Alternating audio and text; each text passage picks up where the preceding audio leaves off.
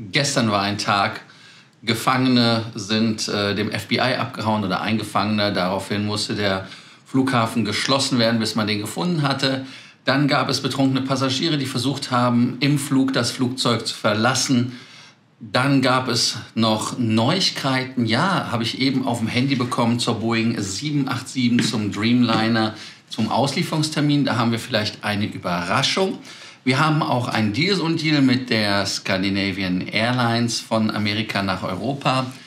Was haben wir denn noch? Wir haben noch ein Thema. Ja, Hilton, natürlich. Hilton äh, hat eine Promotion und Emirates stellt eine Strecke ein, obwohl sie damit richtig Knete verdienen. Und sie haben ein ambitioniertes Ziel mit dem 380er.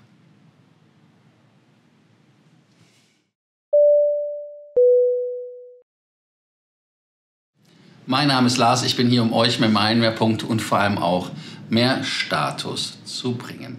An dieser Stelle fangen wir direkt mit dem ersten Thema an, weil es brühwarm reingekommen ist. Ich habe es gerade gesehen, auf Twitter ist es äh, getwittert worden.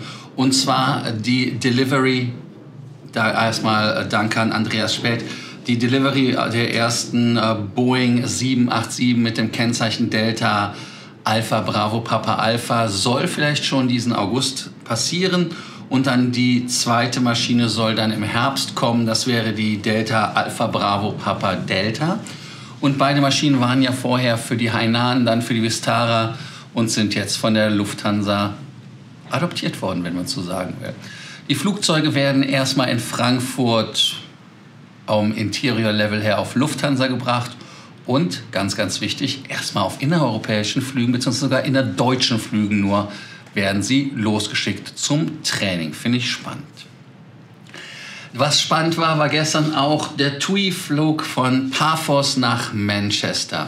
Der ist dann irgendwann nach äh, Zagreb umgeleitet worden, weil ein Passagier meinte, er müsste ähm, da ein bisschen vor sich hin randalieren. Der Vorfall war erst äh, am Montag, aber ist halt dann gestern erst publik geworden, zumindest mir erst. Und zwar war das der TUI-Flug BY2731 und es war ein Smartlynx Airbus.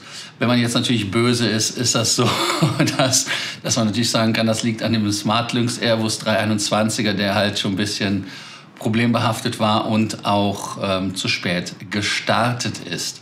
Auf jeden Fall zweieinhalb Stunden im, im Flug äh, ist es halt einfach so gewesen, dass man sich dann davor entschieden hat zu diverten.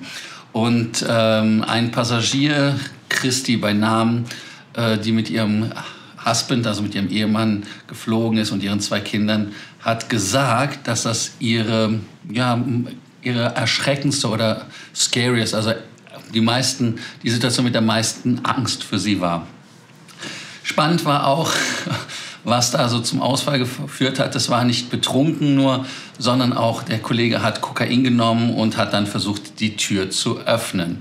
Ähm, er hat dann auch zu diesen Passagieren, die ich eben genannt habe, gezeigt und hat gesagt, wir treffen uns dann im Himmel. Also merkwürdige Menschen. Dann habe ich euch ja noch einen zweiten Flug versprochen und zwar auch hier wieder eigentlich eine Fluggesellschaft, wo ich böserweise sagen muss, ich hätte es jetzt nicht anders erwartet, aber es ist Ryanair. Und ähm, Ryanair ist es gewesen, das war der Flug von London nach Kaunas, also nach Litauen. Und ähm, der Flug FR 2144, der von Luton gestartet ist, übrigens auch am 17. August, das war also auch vorgestern. Ähm, auch als das Flugzeug vor dem Boarding schon ähm, der Kollege auffällig, weil er Alkohol im Duty Free gekauft hat. Er hat es dann an Bord getrunken und äh, er hat schnell halt Anzeichen der äh, Verwirrung angezeigt und auch der Aggression. Er war dann aggressiv, gab da auch irgendwie ähm, Videos auf TikTok, die leider gepostet worden, dann gelöscht worden sind. Auf jeden Fall wurde dieser Passagier dann von den Passagieren überwältigt.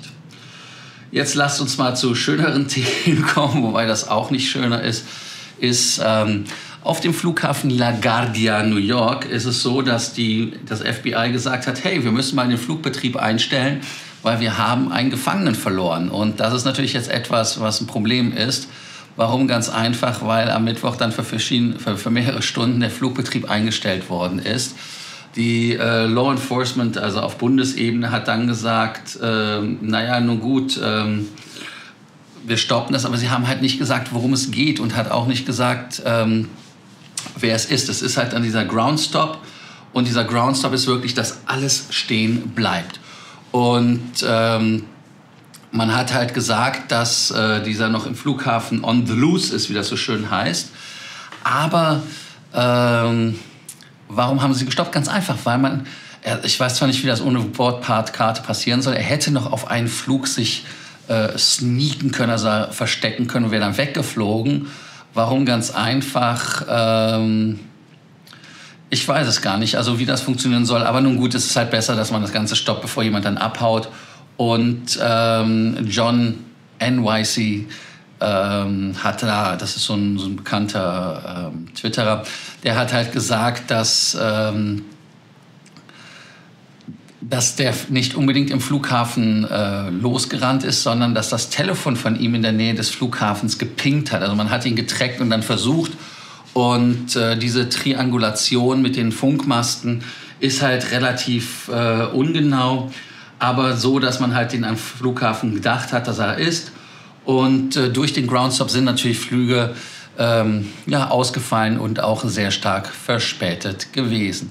Es wurde halt nicht gesagt, wer da dasjenige war, der da abgehauen ist. Man weiß also quasi gar nichts, aber spannend, was so alles passiert an einem Tag. Jetzt lasst uns noch mal gucken, was bei Emirates los ist, weil da ist es ja auch immer wieder spannend. Wir haben ja schon davon gehört, von den 2 Milliarden Dollar, die investiert werden in die Kabine. Ich habe vom Popcorn erzählt, ich habe von dem unlimited, äh, unlimitierten äh, Champagner und auch von dem äh, Kaviar gesprochen. Einige sagten natürlich, hey, den gab es ja auch vorher, beziehungsweise wir haben nicht gemerkt, dass er limitiert ist. Da gibt es Fluggesellschaften, da sind noch zwei Flaschen Schluss für die ganze Kabine übrigens nur so. Ne? Auf jeden Fall, obwohl, ähm, das hatte ich auch bei Emirates, die hatten ja den P2, glaube ich, da und da hatten wir auch, glaube ich, nur pro Strecke ein oder zwei Flaschen. Also. Aber nee, wer will da heulen? Ähm, für mich kein Verlust, ich trinke ja eh den Shampoos nicht in Märkten, nur dass ich den einfach nur ausstelle. Äh, ja, auf jeden Fall hat man dann bei Emirates gesagt, dass man äh, 67 der Doppeldeckerflieger, den A380er, ein Head-to-Tail, also von Kopf bis Fuß, ähm, da erneuern möchte. Beim Flugzeug sagt man ja dann von, von Head to Tail, weil vom Kopf bis zum äh, hinten bis zum Schwanz bis zum Ende. Und dann werden 53 Sevens auch nochmal retrofitted. Das ist für Emirates ein bisschen ungewöhnlich, weil normalerweise fliegen die, die Flugzeuge ja ein bisschen auseinanderfallen, also zehn Jahre, interiormäßig auseinanderfallen. Deshalb hat man ja auch öfters das gehabt, dass bei Emirates da so mehrere Generationen drin sind. Aber jetzt ist es so, dass man das wirklich machen will im Rahmen der Premium Economy. Und äh, es werden 4000 neue Premium Economy Sitze eingebaut. Und was ganz spannend ist, ist auch, es wird die Business Class erneuert. Und ähm, man muss halt einfach sich angucken, auch dass dieses Motiv, was man geändert hat, das ist dieser, äh, dieser Baum, den man hat. Den seht ihr zum Beispiel auch in der Toilette. Den seht ihr auch auf den Karten. Ich habe den auf einer Platin-Karte mal drauf gehabt, auch vor mehreren Jahren, meine ich. Und ähm, jetzt ist es halt einfach so, dass ähm, Sir Clark jetzt natürlich die äh, Business-Class-Kabine ähm, auch erneuert. Das finde ich sehr, sehr gut, weil sie natürlich schon ist schon ein bisschen älter. Aber nichtsdestotrotz, mit anderen Fluggesellschaften können die immer noch mithalten. Und man muss überlegen, die sind über zehn Jahre alt. Was sagt ihr dazu? Sagt ihr dazu, dass das ähm, spannend ist oder wie das aussieht? Also es wird also wirklich fast alles erneuert. Die Seitenpaneele und äh, die First Class. Ähm, das wäre in meinen Augen eine richtig geile Sache. Und was auch spannend ist, ist, dass äh, dieses jetzt im November passiert und man möchte die Maschinen in den Hangar bringen und im Monat vier Maschinen parallel bearbeiten und damit fertig. Und man möchte dann bei Ende 2024 120 Flugzeuge retrofitted haben. Das ist, das ist eine krasse Zahl. Also Emirates geht da knallhart vor. Wo Emirates auch knallhart vorgeht, ist bei dem Thema Geld. Ja, jetzt kann man sagen, hm, wie meinst du das? Ja, das ist ganz einfach so. Man fliegt ja nach Nigeria und da gibt es ja ähm, Ziele, die wirklich richtig Geld bringen. Und das ist halt wirklich äh, wenn man das so sieht, die sind, gehen ja nach Lagos und das andere Ziel, ähm, ich habe das ganz schon wieder vergessen, das war, ach, kommt gleich wieder.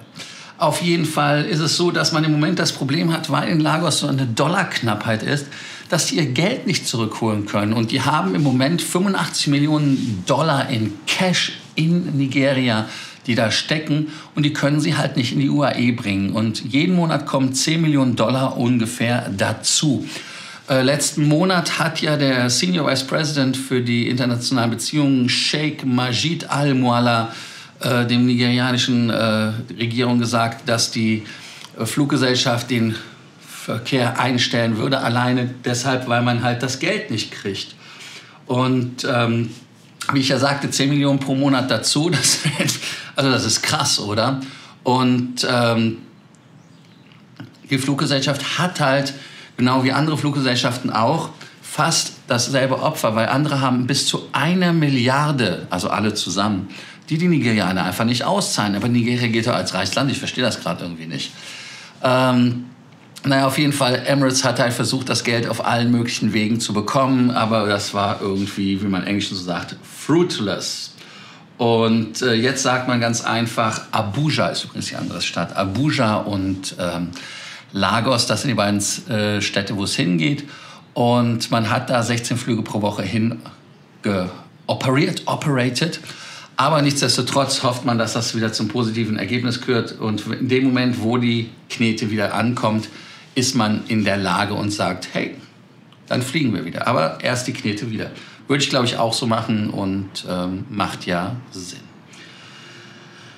Dann haben wir jetzt eine Promotion, etwas Schönes am Ende. Und zwar Hilton hat auch eine doppelte Punkte-Promotion, die diesen Herbst beginnt. Diese Promotion solltet ihr euch jetzt anmelden, ganz einfach deshalb, weil diese äh, Promotion wirklich ähm, gut ist. Ist natürlich jetzt nicht ganz so spannend wie die Promotion, die im Moment läuft. Im Moment ist halt bis dreifach Punkte auf jeden Stay. Die andere Promotion ist halt äh, etwas, äh, nennen wir es einfach mal, äh, schwächer auf der Brust, aber sie haben halt etwas Lustiges auch. Das heißt also, diese Promotion gibt euch nochmal 2000 Bonuspunkte, wenn der Aufenthalt ähm, auf einem Wochentag fällt. Also das heißt der Checkout zumindest von Montag bis Freitag. Wer also da auscheckt, kriegt nochmal 2000 Punkte on top. Ähm, die Promotion ist gültig für Aufenthalte vom 6. September bis zum 31. Äh, Dezember.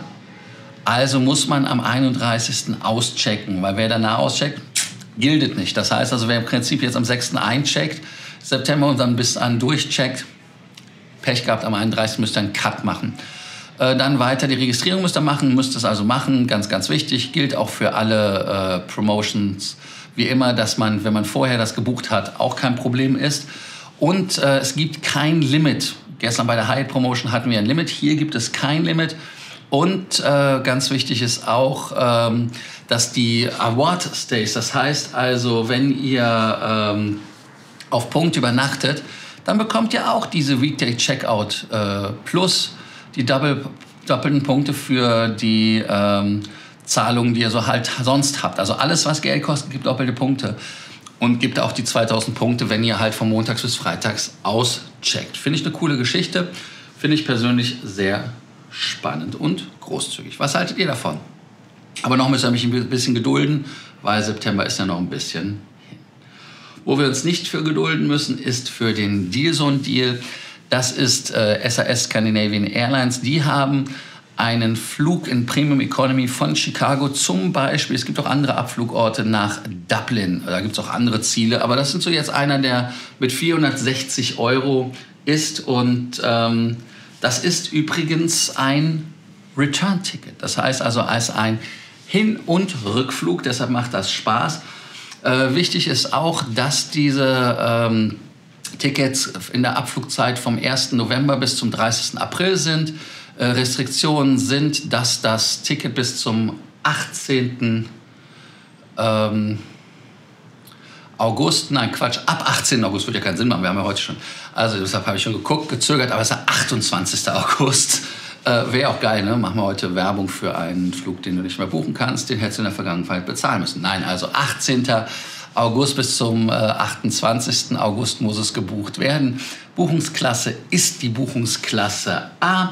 Ähm, 460 Euro hatte ich euch gesagt, gibt kaum Restriktionen, außer dass äh, da ein Sonntag nach Abflug sein muss, erst wo der Rückflug stattfinden kann.